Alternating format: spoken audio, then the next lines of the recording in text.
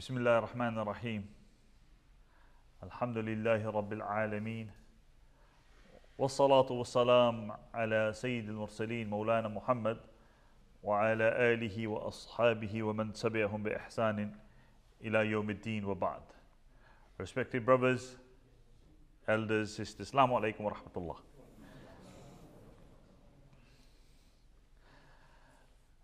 I thought today we will speak about something which was once upon a time primarily the duty of the Anbiya. But because after the message of Allah sallallahu wasallam there is no other Nabi to come. So we to a degree or to a great degree have the responsibility. And this is also very intrinsic to this ummah being great. Allah subhanahu wa ta'ala says in the Quran regarding this ummah, Kuntum khayra ummatin ukhrijat linnas. You are the best of nations. You have a responsibility, Allah says, that ukhrijat linnas. That humanity must see your good. Not just the Muslims, but nas Humanity must see your good. And to for humanity to see your good, you must do two things. تأمرون بالمعروف وتنهون عن المنكر.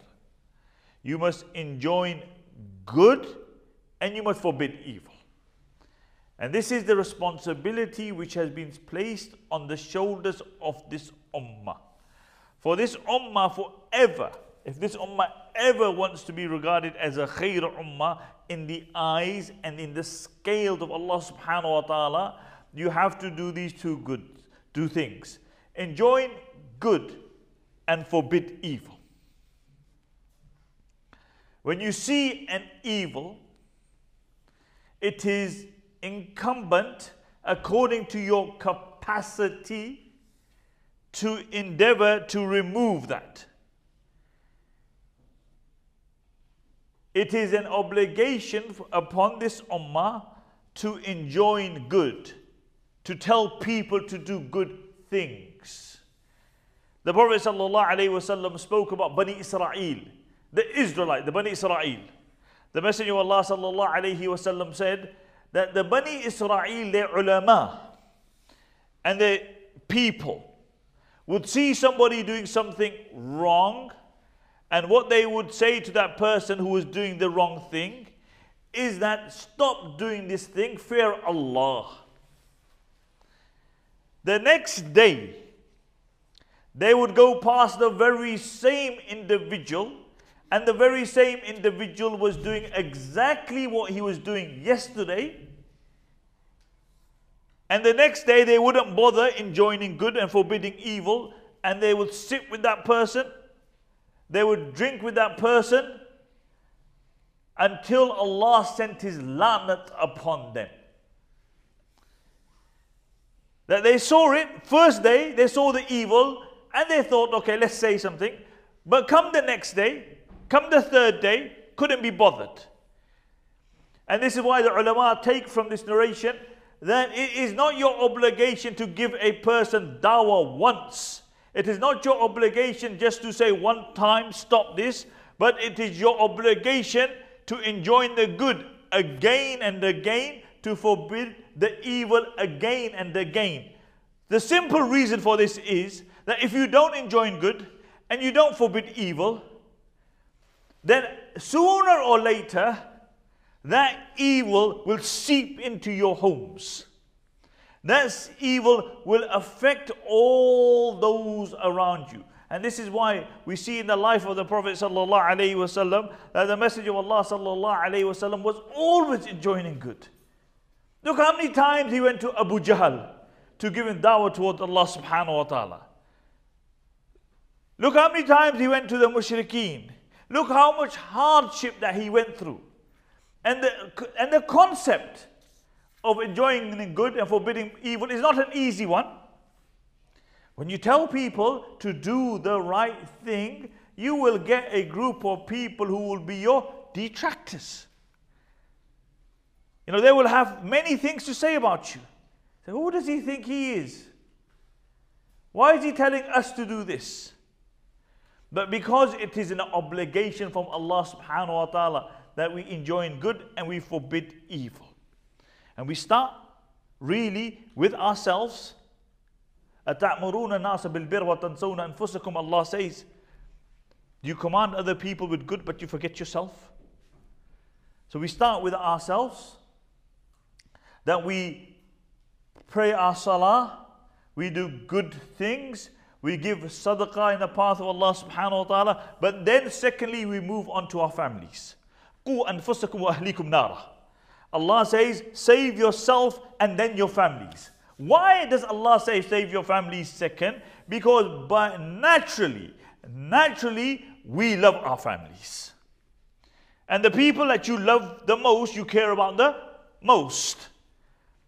Therefore, if you are praying salah, but you are never telling your children to pray salah, there is a serious problem. If you are never telling your wife, your husband to pray salah, there's a problem. Now, you may do it with hikmah, you do it with love, you do it with muhabba, but you do it. You do it.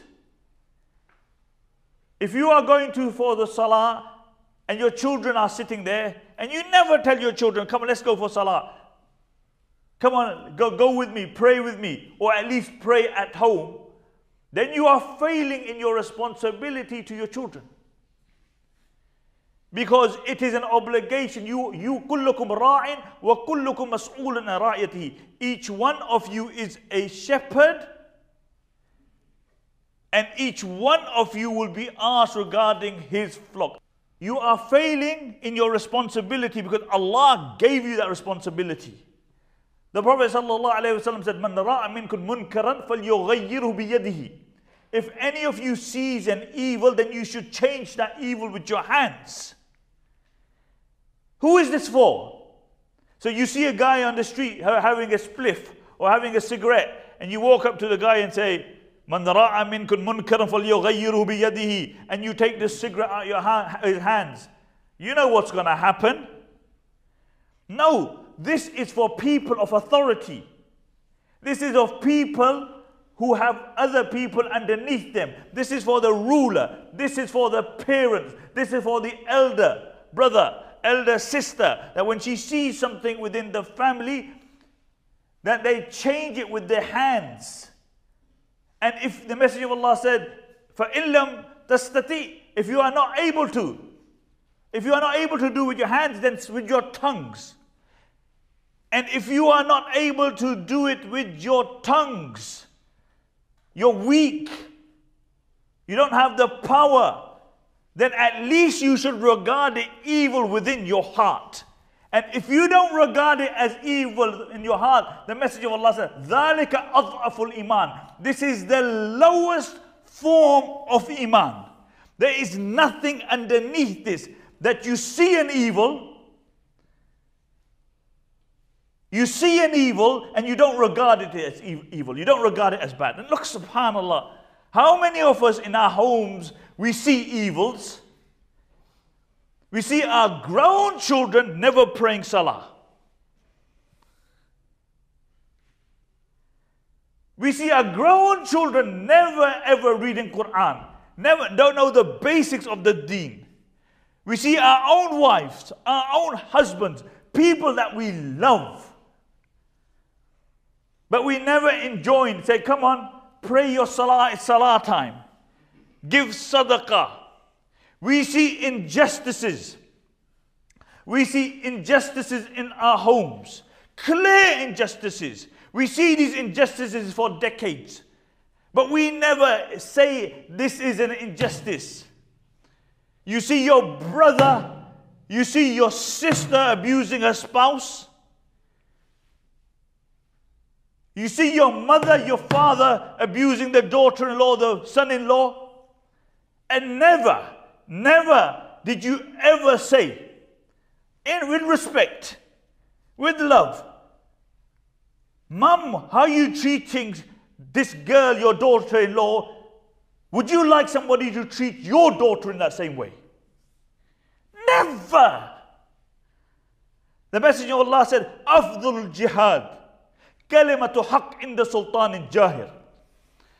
The greatest form of jihad, the greatest form of jihad is to speak words of truth in front of a tyrannical ruler. You know why? Because in the old days, when you spoke in front of a tyrannical ruler, it would be game over. You wouldn't see tomorrow. But the Messenger of Allah defined it as not jihad, afdalul jihad. No jihad greater than this. That you have a tyrannical ruler and you will speak the truth. Nobody's telling you to speak about tyrannical ruler, but what about your own homes? What about injustices in your own homes? In the time of the Messenger of Allah sallallahu alaihi wasallam, there was a camel which bolted away. So they came and informed the Messenger of Allah sallallahu wasallam. There's a camel which belonged to this young man from the Ansar and it's run away. So the Messenger of Allah said, Where is the camel? They said, O Messenger of Allah, it's in this garden, but be careful because it will attack you. The Messenger of Allah sallallahu wasallam went to the garden. The narrations mention that the camel saw the Messenger of Allah sallallahu alayhi wasallam and it walked up to the Prophet وسلم, and the Messenger of Allah didn't move. And it placed his head on the shoulder of the Prophet وسلم, and a tear came out of the camel's eye. And the Prophet ﷺ said, Who does this camel belong to? And the young man said, Me, O Messenger of Allah. The Messenger of Allah said, It complained that you overwork it. you overwork it and you underfeed it. He said, Take care of the camel. The Messenger of Allah spoke amal bil ma'ruf, enjoin good, wa nahi anil munkar, for the right of animals. And you and I see injustices in our homes, in front of our eyes, every single day. And we never say a word. Oh no, I can't say anything. It's blood. Blood is thicker than water. Allah says in the Quran, Oh, you believe, stand firm for justice. وَلَوْ عَلَىٰ أَنفُسِكُمْ Forget about blood. Allah says, speak the truth even if it's against your own self. That's what Allah requires. And this is why we are an ummah that we enjoin good. You look at the problems, honestly, within our community. Nobody ever speaks up. Your, your areas are run down. And bichare, your children have to face the consequences because you never enjoin good. You never forbid evil. You don't care a damn about your community. Anybody can say anything about you. You won't ever speak up. Look at your areas. Look at your areas. You know, when the COVID was happening, I went to B&Q. And it was really an eye opener for me. So I was standing in the queue in B&Q. And there's a, an Englishman standing behind me, and another two Asians standing behind him. So what happens is that this guy who's walking with a walking stick, he comes in, and there's an Asian guy who's actually later on not even a Muslim. He says to him, "You can go through." So the Asian guy who let him go through went away. He worked at B&Q. So there's a white lady standing there. So this guy behind me says, he goes, Oh, he wouldn't have let him in if he was white. Now there's me standing in front of him. There's two Asians, guys standing behind him. So I turned around to him and I said, How do you know that? I said, How do you know that? He goes, Well, you know, that's my opinion, isn't it? I goes, But you have no basis for that opinion. I said, that, You said that based on the color of his skin. So that's textbook racism. He goes, Well, it's my opinion. And then we had a couple of, you know, nice exchanges. No, but what really, wallahi, what really dawned upon me then, and I knew this, was that this guy had the gall, two things, that this guy had the gall to say what he said, although he knew that there was an Asian guy standing in front of him, two Asian guys standing in behind him, because he knew that there was no repercussions. He knew that these guys ain't gonna say that. Literally, I can guarantee you, if I was Afro Caribbean, if I was black, if standing in front of him and two behind him, he wouldn't have said it. And the second thing really struck me was that this guy was brave enough to say what he said, and he actually had no defense of what he said. I thought, okay, they'd have some response. The best he could say, well, it's my opinion, isn't it? It's a free country, I can give my opinion. But see, this is the general mentality, unfortunately, that we will never ever speak up. And I'm not saying that we're just going to get into a ruckus or rumble with everybody who says something.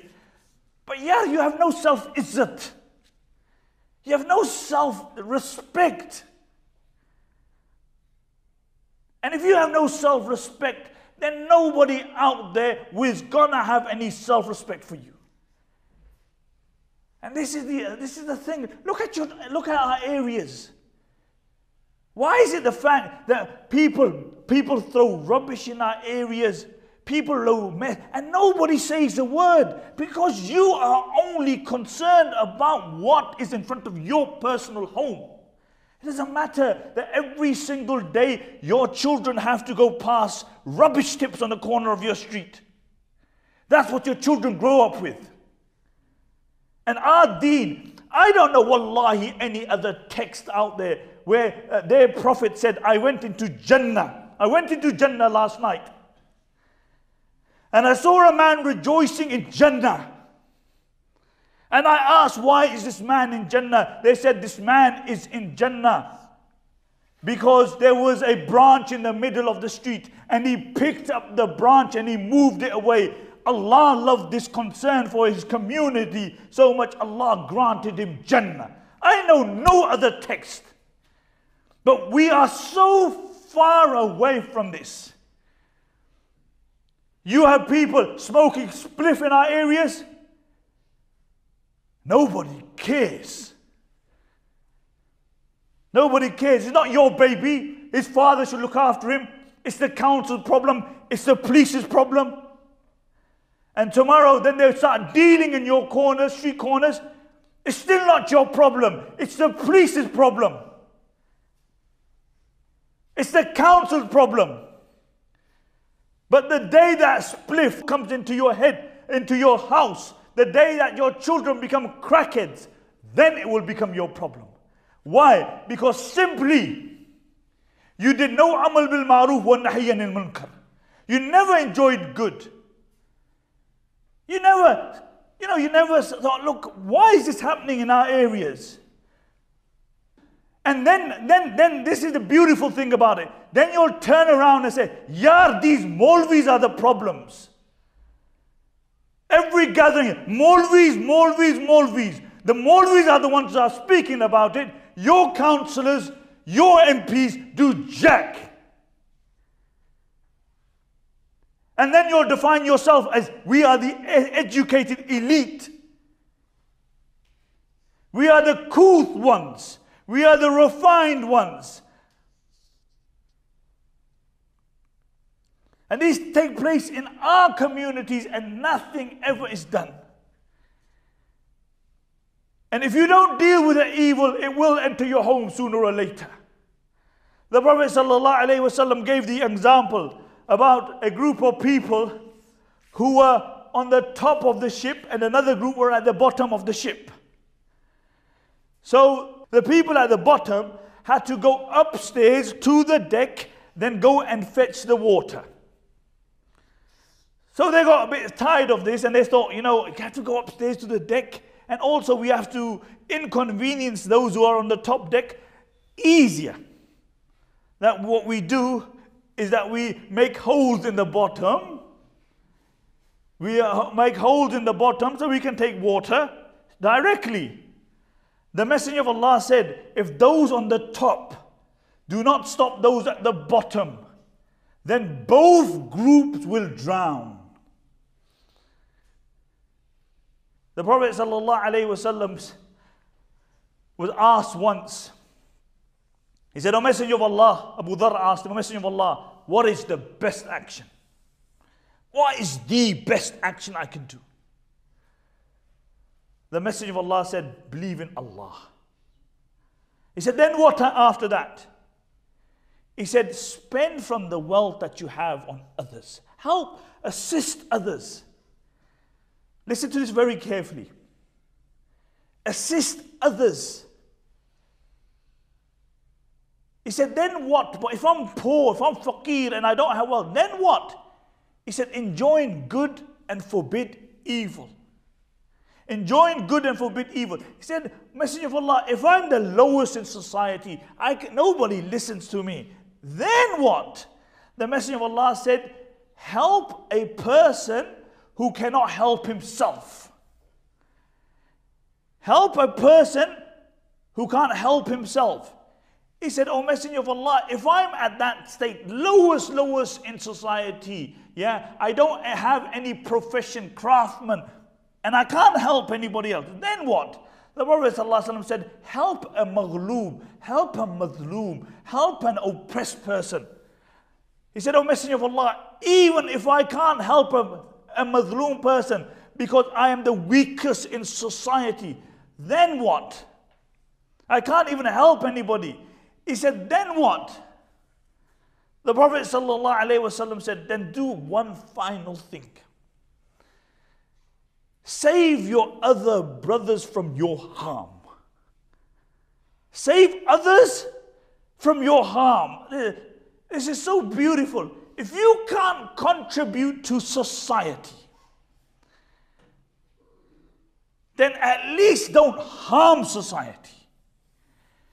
If you can't be productive for society, if you can't put anything back into community, if you can't put anything back into the ummah, if you can't put anything back into your family, then at least save others from your own evil.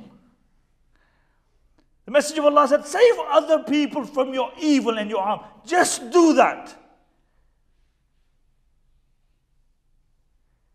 And maybe Allah will grant you Jannah.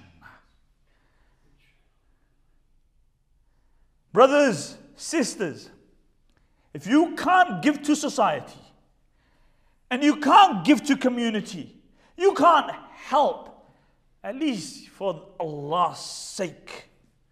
If you can't be positive contributor, don't be a negative one. May Allah subhanahu wa ta'ala make this ummah and this nation from the khaira ummah.